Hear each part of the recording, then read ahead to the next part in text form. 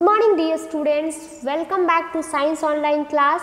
Dear students, in last class we are learning about the pH scale, different pH range we have learned in the last class. Let's extend the same concept in a today's class. So dear students, now we are going to start here. So dear students, before going to uh, learn the concept, let's recall what we have learned yesterday. So this is the pH scale where the values or pH values is equal to 14, okay, which is the lowest hydrogen ion concentration. So if the pH value is equal to 7, then it shows the hydrogen ion concentration is equal to hydroxide ion concentration, okay. It means it is called as a neutral point or a neutral solution is called as a distilled water has the value of hydrogen ion concentration equal to 7. So, this is one of the example if the question is asked with to you give one example a neutral solution which shows the pH range as a 7 then you can give this example that is the distilled water you can say as a pure water where we can get this distilled water from the rain water. So, the acidic solution has value of hydrogen ion concentration less than 7 okay less than 7 if the number you get this the less than 7 then the pH is uh, acidic okay. So, the solution becomes acidic in nature if the solution or the value of hydrogen ion is greater than 7 okay it is crosses the 7 then it is which type of uh, solution it is? It is a basic solution okay? It is a basic solution. So thus we can say that pH is inversely proportional to the concentration of hydrogen ion okay? So let's discuss this thing here one by one. So dear students here some importance are there in our everyday life okay? We are using the pH range to protect our body, to protect our environment, we have to maintain the pH range otherwise we are going to suffer here. Okay. So, let us talk about the pH sensitivity of plants and the animals. Okay. So, what is the pH sensitivity of sensitivity of uh, plants and animals? where the plants and the animals are sensitive uh, to pH. Why? Because the crucial life processes such as the digestion of food, function of enzymes and the hormones happen at a certain pH level. Okay. So, for maintaining the functions of food, enzymes or the digestion of food, so in our body we have to be uh, maintain the pH, pH range. Okay. So, just you can imagine this thing if uh, in your body if you had any junk food. So, you may find that your body is not becoming a good okay? So at that situation what you can analyze we are going to analyze in our body that we got a acidity okay? So for maintaining this thing we have to take some base uh, base like a eno okay? So we have to maintain the acidity and basicity in our body at certain pH range otherwise we are going to suffer here okay? So this gives the impact so, pH sensitivity of plants and the animals is very important. So, here the what are the function that is the digestion of food, functions of enzymes and the hormones happens at a certain pH level, it gives a answer. Then what is the pH of soil? Okay. So, dear students this question can be asked in the examination.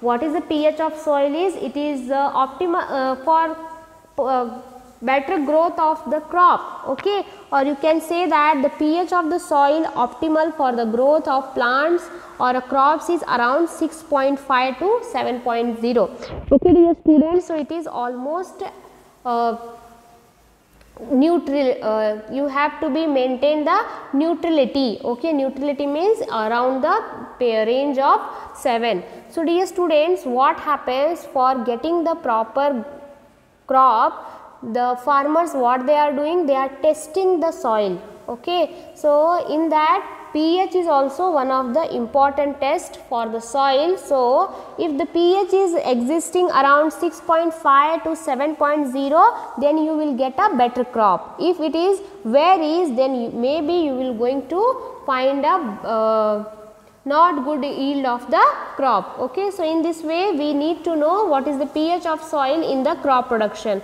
So, here for understanding the concept we have a pH of soil one activity.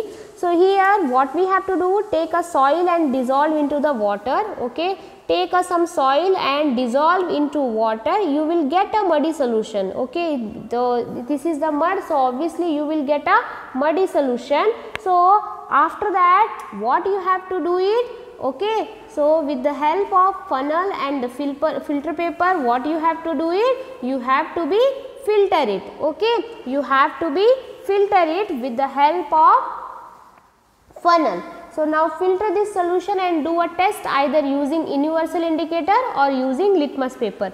Okay, whatever solution you will get the muds will uh, existing in the filter paper itself they will get stuck there and whatever solution you will get you can go for the acidity and basicity checking. So, how you are going to check it with the help of indicator maybe like a phenolphthalein. So, or you can use the litmus paper or uh, any other indicator for checking the acidity and basicity in the muddy water. Okay. So, dear students if you will get a acidic nature of the soil then at that situation what you have to do? If the soil is more acidic, okay, if you got to know that the soil is more acidic then you can be used basic substance such as a quick lime or you can say as a calcium oxide that is the CO OH okay it is nothing but the slaked lime or you can say as a calcium hydroxide or a chalk it is also called as a calcium carbonate. Why? To neutralize it because the acidity range is more. So neutralizing the soil solution or the neutralizing the soil what we have to add there? We have to add there this type of base like a quick lime, slaked lime or a chalk. Okay. If the soil is more basic in nature, suppose what happen after checking the soil, if you will get to know that the soil is a basic in nature, then you can add their manure and the fertilizers. Why? Because it is the composed of organic matters obtained by the decomposition of the dead plants and the animals to neutralize it okay so if you got to know that the soil is more basic then what you have to add there you have to add there to maintaining the pH range as a manure and the fertilizer so this question can be asked in a examination. So this activity they will not going to ask directly. They will put you or twist question to understand this thing. Okay? So keep in your mind for neutralizing the soil what we are using we are using the quick lime or a slaked lime. Okay? So here the next application of the pH that is the indigestive system where we are using the process of digestive happens at a specific pH in our stomach which is around 1.5 to 4 okay this is the range of pH that is this process is occurs around 1.5 to 4. So, the pH of the interaction of the enzymes while food is being digested is influenced by HCl in our stomach. Okay dear students, whether the HCl is producing by our stomach? Yes, because when we are having the food, so the HCl acid is going to be kill those extra uh, dust or you can say extra worms which is not good for our health okay so they will go HCl is going to be kill the harmful bacteria which is comes with our food okay so HCl is present in our stomach so keep in your mind sometimes it is organic means uh, so inorganic in our body but in inorganic in the laboratories okay so this is the concept of pH in the digestive system or you can take another example about the tooth decay. Tooth decay means cavity in the, our tooth. So, the tooth decay happens when the teeth are exposed to an acidic environment. Okay. So, for if the tooth decay is, takes place in our teeth then what happen? the pH range is not balanced. Okay. So, what happened? The pH is around 5.5 and below then it is considered to be a acidic environment for our tooth decay. So, if the cavity is for, uh, present in your teeth then what you have to think at? Yeah, the pH range is or the pH is acidic in nature. So, these are some examples of applications of the pH Then the next is the effects of pH on animals and the plants. Okay dear students, here uh, pH is also affects the plants and the animals. How? Let's discuss. The pH of the acid rain, okay. So, acid rain is nothing but the, the rain which is consisting the nitric acid and the sulfuric acid. Later on we will going to discuss here, but let us discuss what is the role of pH. That is pH of acid rain is around 5 to 6. Uh, this is highly acidic, okay. It is a very highly acidic nature. Due to this acid rain, acid reaches into ocean, lakes and affects the life of the aquatic animals and the plants and some aquatic animals and plants are died due to the acid rain and some plants lose lots of uh, their leaves. So, what is the main problem? That acid rain is consisting how much pH range? It is around 5 to 6 okay? Then in this situation what happened? Acid reaches into ocean lakes and affects the life of the aquatic life. Aquatic life means they are going to harm the animals they are uh, which they are living in the ocean. So, they, they called as a aquatic animals. So, neutralize this acidic behavior of lakes and the ocean and the calcium carbonate is added to here it okay to neutralize this thing what we are adding we are adding the acidic behavior of the lakes ocean so calcium carbonate is added to those lakes okay now let's discuss some few more points about the acid rain. So, dear students when we are discussing about the acid rain how you can get it. So, due to the air pollution okay due to the air pollution means uh, you can analyze in our day to day life how the environment is disturbing from the air pollution. So, due to the air pollution may harmful gases like a nitrogen dioxide and sulfur dioxide some into atmosphere and the nitrogen dioxide and sulfur dioxide form nitric acid and sulfur uh, acid on a reaction with the water. Okay. So, in this situation what happened this acid rain is obtained from the combination of nitrogen dioxide and the sulfur dioxide.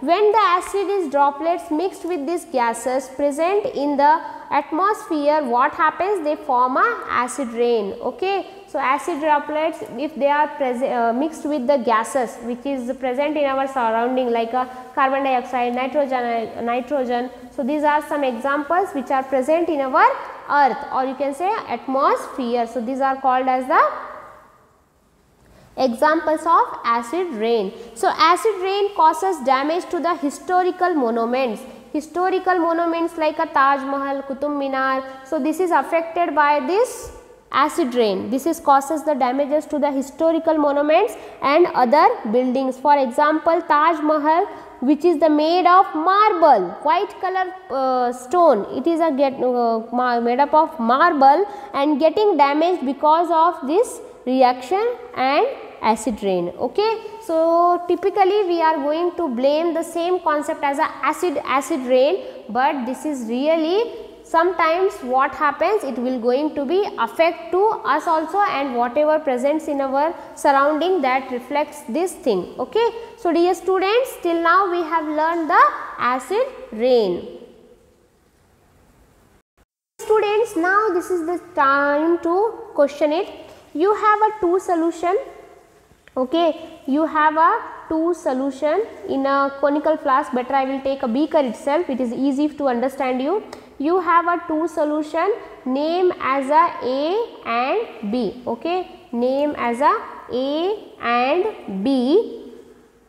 So the pH of the solution A is a 6 and the pH of solution B is a 8. Which solution has a more hydrogen ion concentration? Which of this the acidic and which is one of the basic? So, dear students for understanding the concept you must to know that the P, uh, acid range is lies between the 0 to 7 where the ba basic range is lies between the 8 to 14. So, just now only you tell me which is our answer? Our answer is the answer B. Okay. So, the in order to find the hydrogen ion concentration we use the rule say that the pH is of any solution is inversely proportional to the hydrogen ion concentration. Therefore, it means that the solution that has a lower pH number will have a higher hydrogen ion concentration. So, solution A will have a higher hydrogen concentration. In addition, solution B will be basic because A will be the acidic. Okay. So, this is our answer. This is the form how to represent the answers in exams. Okay. So, next question is what effects does the concentration ion that is the aqueous ion have on, on the nature of the solution. So, hydrogen ions concentration how they are going to be affected. So, hydrogen ion concentration decided the nature of the solution.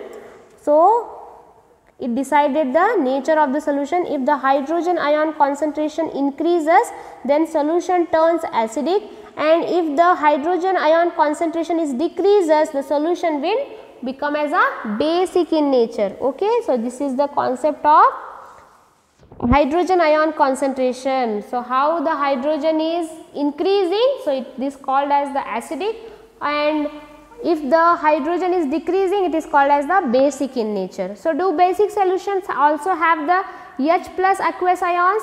If yes then why are this basic? Okay. So, whether the basic solution also have the hydrogen aqueous ions.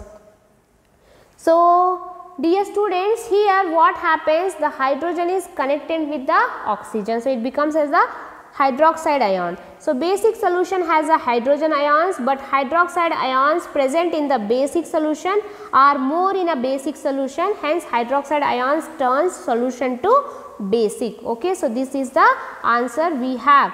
So, under what soil condition do you think a farmer would treat the soil of his field with a quick lime? Okay, already we have discussed today itself on which condition the farmer has to be decided whether acid or base should be maintained. Okay. So, in this situation he is deciding about his field with a quick lime. Okay. So, he is going to be added. So, whether the soil is acidic or basic just think it. If the soil is acidic in nature then uh, pH range should be below 7 then such field should be treated with the quick lime. Okay because we have to maintain the balance. So, or you can say as a slaked lime or you can say as a calcium carbonate. So, this is the answer we have. Okay. So, this is the true thing. So, dear students till now we have learned about the pH scale. In the next class we are going to conclude this chapter. So, dear students let us meet in the next class. Have a good day. Bye bye.